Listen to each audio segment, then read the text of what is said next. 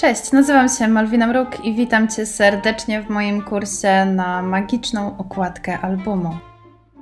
Jak widzisz, mam już przed sobą układkę ze skrapińca. Jest to technicznie rzecz biorąc szafa, ale wykorzystamy ją sobie jako komnatę. Pokryłam całość czarnym gesso i teraz będziemy robić środek tej komnaty.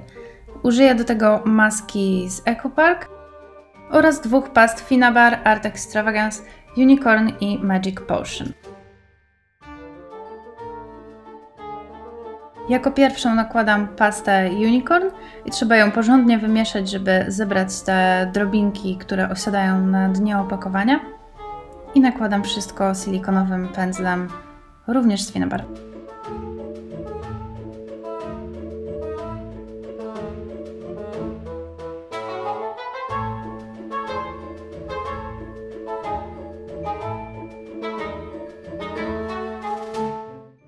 Niestety nie zauważyłam, że kamera nie obejmuje mi całości pola roboczego, ale tutaj nic Was nie omija, nakładam dalej maskę, później ta kamera się poprawi.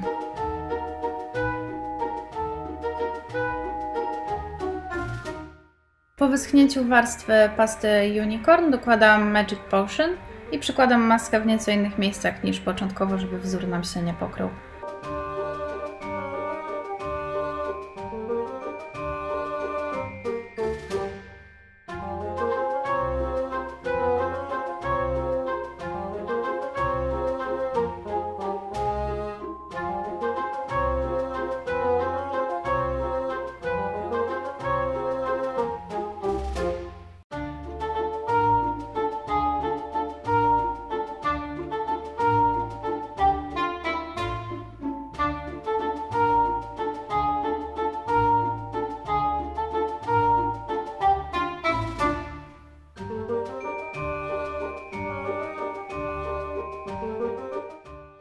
Tak się prezentuje już pokryta e, pastami komnata.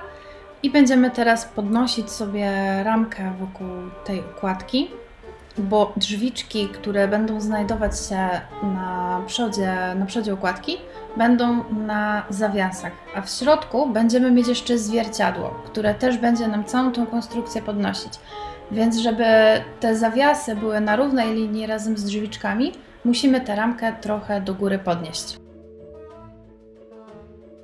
Ja tutaj używam taśmy piankowej 3 mm, ale jak się później okaże, to jest jeszcze troszeczkę za mało. Te drzwiczki będą mi jeszcze odrobinkę e, się podnosić, nie będą się domykać, więc jeżeli będziecie chciały zrobić to samo, to sprawdźcie zanim przykleicie tę piankę, czy na pewno będziecie mieć drzwi na płasko ponad konstrukcją, która znajduje się w środku komnaty.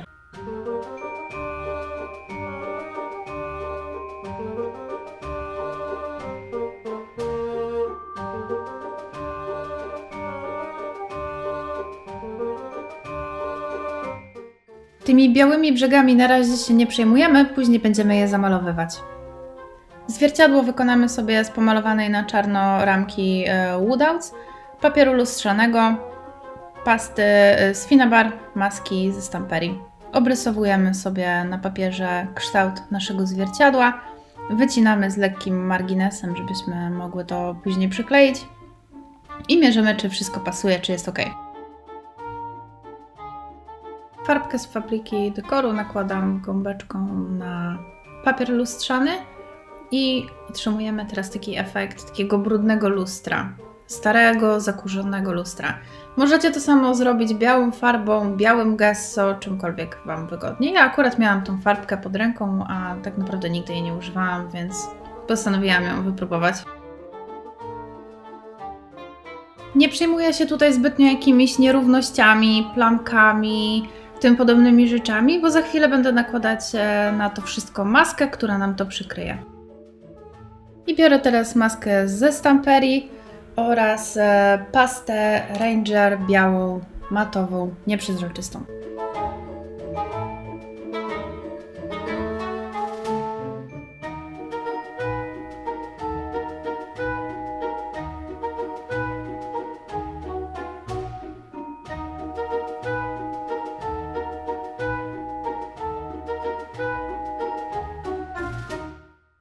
Prezentuje się nasze zwierciadełko. wysuszeniu przechodzimy do rameczki.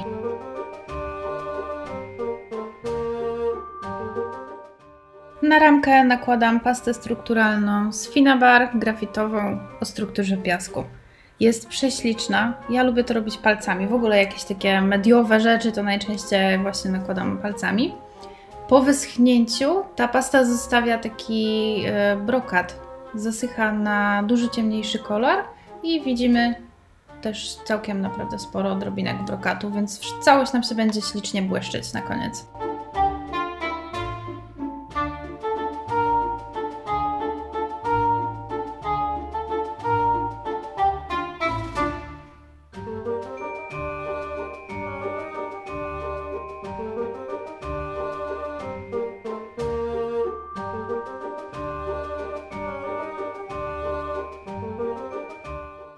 Teraz czas na sklejenie elementów y, drzwiczek na okładce. Używam do tego matowego Heavy Body Gelu.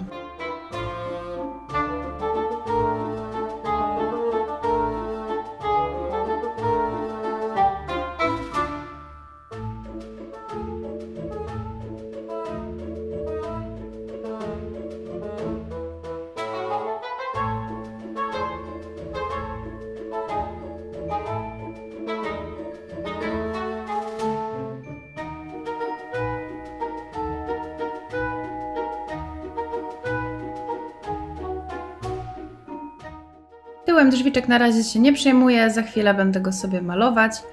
I to samo powtarzamy z drugimi drzwiczkami. Przyklejamy elementy. I sklejamy ze sobą zwierciadełko i rameczkę. Ja użyłam do tego kleju introligatorskiego, ale równie dobrze możecie do tego użyć body gelu.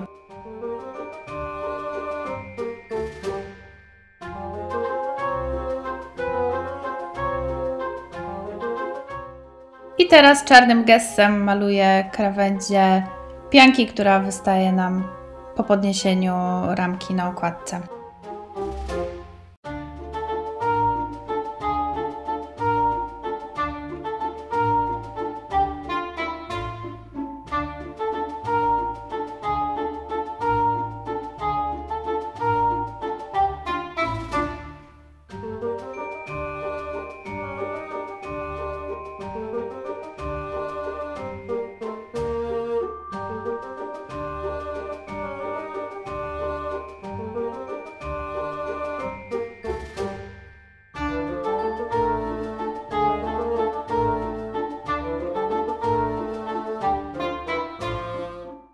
Teraz możemy już przykleić swoje zwierciadło i ja znowu użyję do tego Heavy Body Gelu. Co prawda widzicie teraz na nagraniu, że używam do tego kleju introligatorskiego, ale już za momencik tego pożałuję i poprawię swoją decyzję.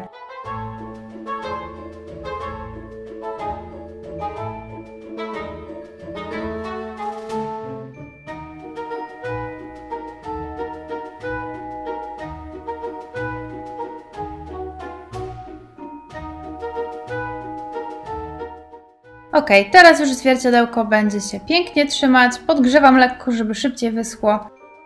I możemy przechodzić do przygotowywania zawiasów. Spód zawiasów, żeby lepiej się trzymały, pokrywam czarnym gessem. Tutaj widzicie jeszcze, że są włożone nity w dziurki od tych zawiasów, ale to też był kiepski pomysł, bo przez nie miałam te zawiasy jeszcze wyżej. Więc w dalszych kadrach te nity już są wyjęte, mamy same płaskie zawiasy, które przymocuję na Heavy Body Gel. W środku komnaty umieszczę jeszcze element e, metalowy, ozdobny z Tima Holca z kolekcji Halloweenowej i tak samo jak nawiasy pokrywam go czarnym gessem od spodu, żeby lepiej było go przykleić.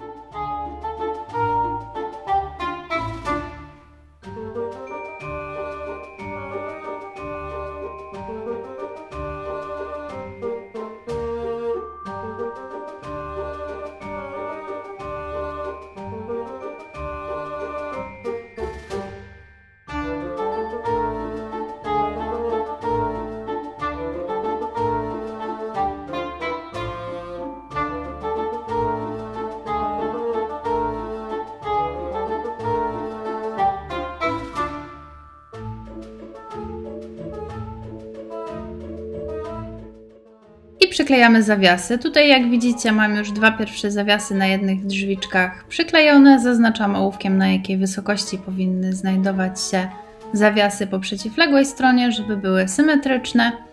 I na zawiasy pokryte czarnym gessem nakładam Heavy Body Gel.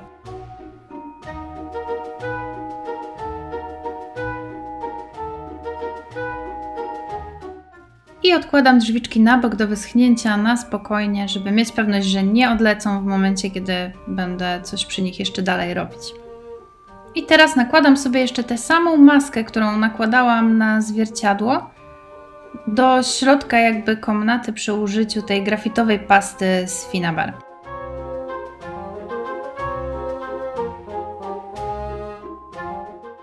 Nie było to najwygodniejsze, ale przyszło mi to do głowy dopiero jak już miałam właśnie wszystkie te elementy przyklejone, więc jakoś tam sobie poradziłam. I dokładam tutaj trochę tej pasty w rogach, żeby trochę rozmazać e, przy krawędziach ten wzór.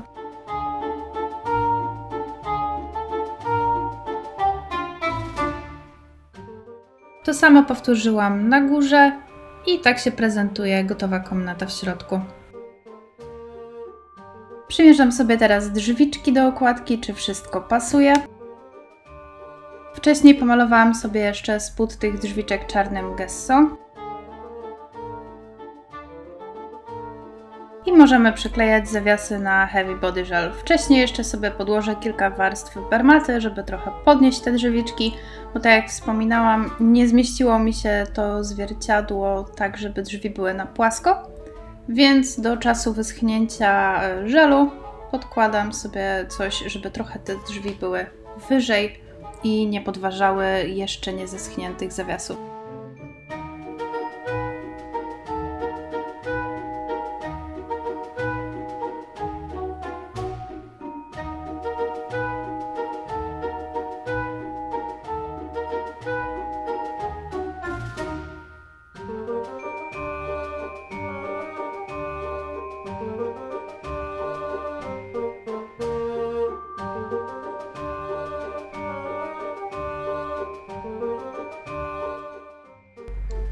Doklejam sobie teraz metalowe elementy na okładce. Napis Beware jest już przyklejony na prawych drzwiczkach. Wcześniej pomalowałam go spod spodu czarnym gesso i to samo robię teraz z napisem, który będzie znajdował się u góry okładki. Po wyschnięciu, po podsuszeniu tego elementu możemy przykleić go na Heavy Body Gel.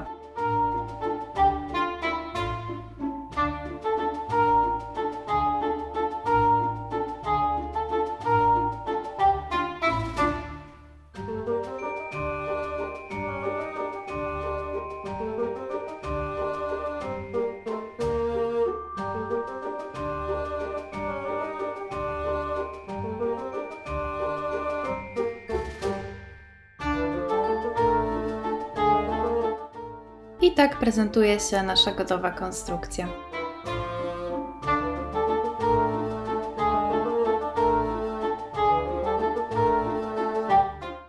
Teraz czarnym gessem wypełniam te niepomalowane elementy w drzwiczkach, które ciężko było mi dosięgnąć większym pędzlem.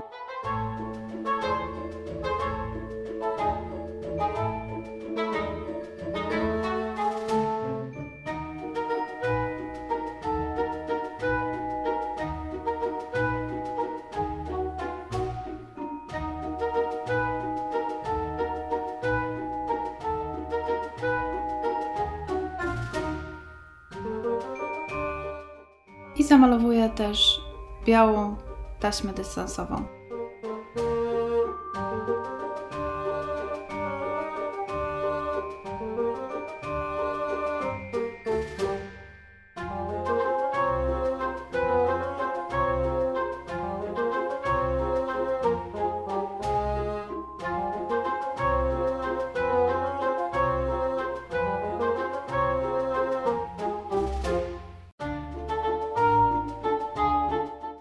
I korzystając z tej samej pasty z Finabar, której użyłam w środku komnaty, teraz nakładam ją na drzwiczki, żeby uzyskać ten sam efekt.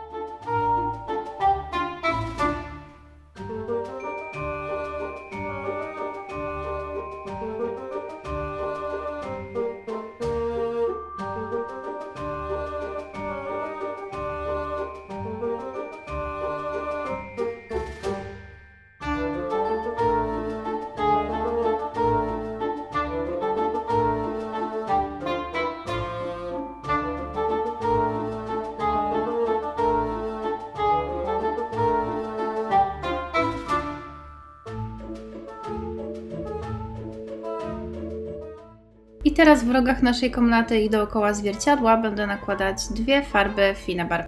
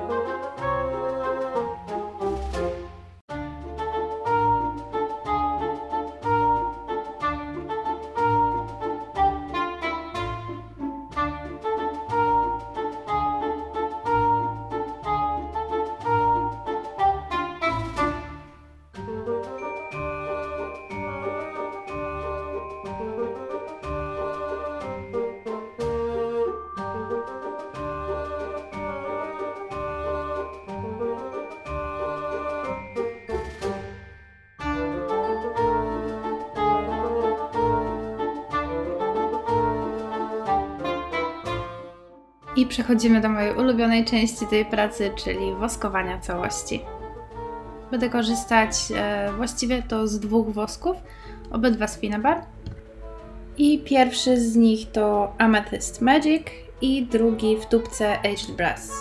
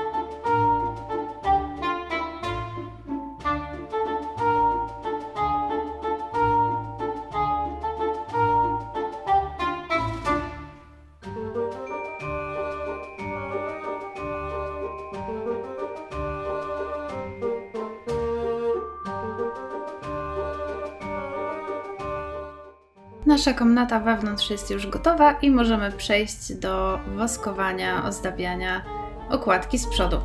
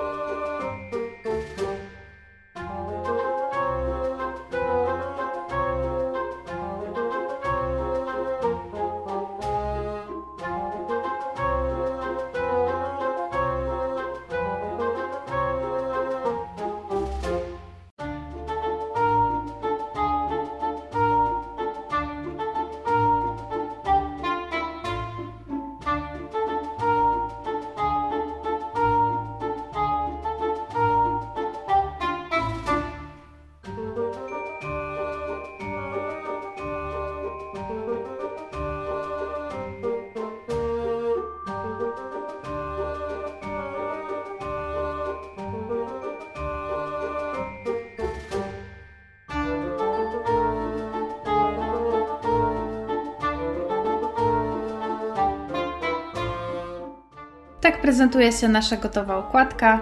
Mam nadzieję, że Ci się podoba. Jeśli tak, to zachęcam do subskrybowania kanału, bo regularnie pojawiają się tu również inne kursy prowadzone przez Martę i resztę design teamu Craftweny.